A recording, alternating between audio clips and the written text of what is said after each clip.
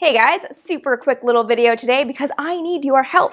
Some of you guys might know that I'm going to be traveling around Australia for basically the entire month of August, which means I'm front loading all the videos for the month before I leave, and I decided to do something kind of fun with that.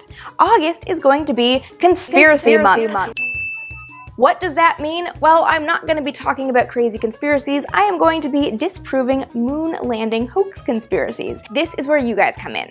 There's no shortage of websites that tell you why the moon landing was so obviously faked and puts forward all these airtight theories. But what are your favorites? I've got a handful that I'm working on finding the legitimate science and the legitimate explanations to debunk them, but I want to know, what are the ones that you guys see most often that you would love to have a video to just disprove it, to point people to when they annoy you on the internet? Or what hoaxes are you most convinced by and would kind of like to see someone really explain to you what's going on? Or what ones do you think would just be fun? Let me know what hoaxes you guys would like to see debunked in the comments below because I get a lot of questions about moon landing hoaxes, so I really want to make sure that I'm answering your questions. Also, I think it would just be fun to see what you guys are most interested in knowing, not just what I think you want to hear about.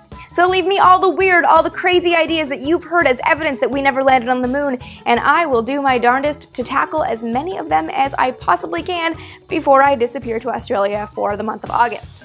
All right, thanks guys. As always, be sure to follow me on Twitter for daily vintage space content and be sure to subscribe right here so that you don't miss a single Conspiracy Month video every Friday and probably a couple on Tuesdays all through the month of August.